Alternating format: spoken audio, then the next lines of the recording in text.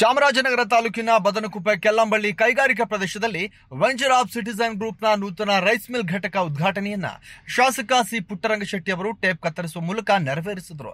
ಬಳಿಕ ಮಾತನಾಡಿದ ಅವರು, ಕೈಗಾರಿಕಾ ಕ್ಷೇತ್ರದಲ್ಲಿ ಇನ್ನು ಹೆಚ್ಚಿನ ರೀತಿಯಲ್ಲಿ ಪ್ರಗತಿ ಸಾಧಿಸಲು ಈ ಭಾಗದಲ್ಲಿ ಹೆಚ್ಚಿನ ಕೈಗಾರಿಕಾ ಘಟಕ ಸ್ಥಾಪನೆ ಆಗಬೇಕು. ರಾಜ್ಯ ಸರ್ಕಾರ ನೂರಾರು ಎಕರೆ ಜಮೀನಿನಲ್ಲಿ ಕೈಗಾರಿಕಾ ಕೇಂದ್ರ ಸ್ಥಾಪನೆ ಮಾಡಿ ಈ ಭಾಗದ ಅಭಿವೃದ್ಧಿಗಾಗಿ ಕೈ ಜೋಡಿಸಿದೆ. ಇದನ್ನ ಖಾಸಗಿಯವರು ಉಪಯೋಗಿಸಿಕೊಳ್ಳಬೇಕು ಅಂತ ಅಭಿಪ್ರಾಯ ವ್ಯಕ್ತಪಡಿಸಿದರು. 你说的是不